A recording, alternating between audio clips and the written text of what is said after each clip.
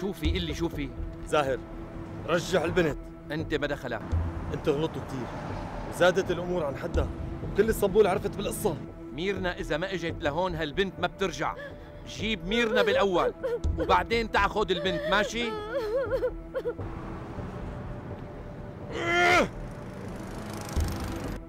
خبروا الشرطة. يا ابني عم يكذبوا. خدعة هي دمرتنا يا مصطفى دمرتنا. شو بالله كيف كنت حتقتل ميرنا؟ طلعت مانك رجال ولا لك علاقة؟ فهمان والله. ولا؟ لك هي ما مرتك عمين عم تكذبوا يا مساطيل؟ على مهلك. رجعوا البنت. محل ما جبتوها بترجع. دخلك أنت بتعرف من وين جابوها؟ طبعا معلم. خذ معك كم زلمه وروح حطها بأقرب محل لبيتها ما بدنا نوقع بمشاكل كرمال هالمجانين. شو يعني هيك رح نتركها هلا؟ خلاص خذوها على السيارة. لهلا واقف لك المعلم هستر. والله ما يشوفكن هلا ليقتلكن ماشي مثل ما بدك. خلص ارتاحوا. نحن بنوصلها استغفر الله العظيم.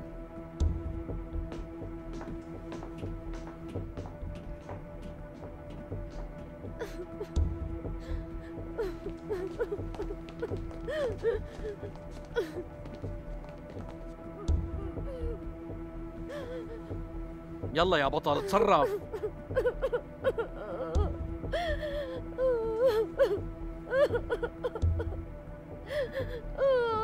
كرسي بقى. روقي. ليكي. رح نرجعك عند أهلك.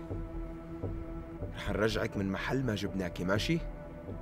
بس إذا بتدرى الشرطة فينا وبتعترفي علينا بتشوفي شو رح يصير بعيلتك كلها رح تتدمر عم تفهمي علي؟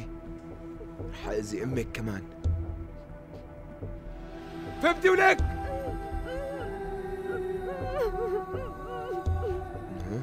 شاطرة برافو عليكي برافو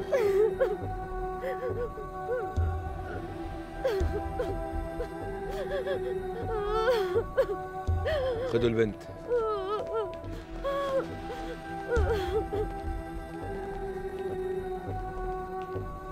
نعم.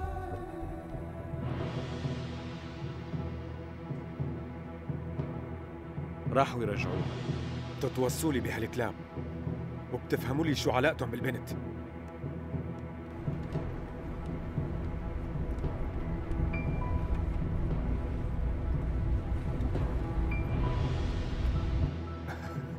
يمكن تكون مشكلتهم معي. مو بالصدفة. يمكن يكون لهم تار عندي ويمكن لعبة. بجوز اتفقوا مع خليل وصاروا ضدي. خليل والزلمة اللي معه طلعوا من قصر سونمار ركبوا بسيارة زينب وراحوا. رجالنا عم يراقبوها بالأول راحوا على محل ميكانيسيان وهلأ رجعوا مشوا. خليهم مراقبين بلكي بنحل الحزورة.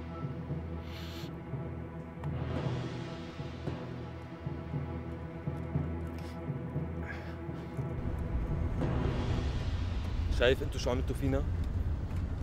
كل هاد بسببك لو ما لعبت بعقل أختي ما كان صار هيك